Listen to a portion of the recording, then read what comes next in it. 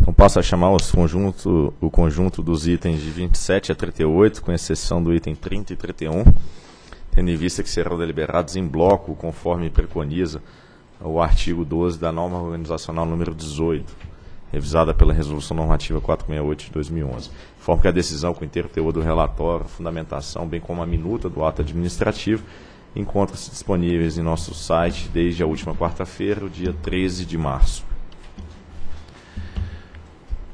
Indago, em primeiro lugar, se tem algum diretor, algum do público que deseja fazer algum destaque em relação aos processos.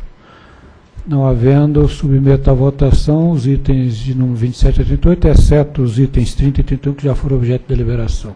Voto pela aprovação do bloco. Também voto pela aprovação. Também voto pela aprovação de todos os itens do bloco.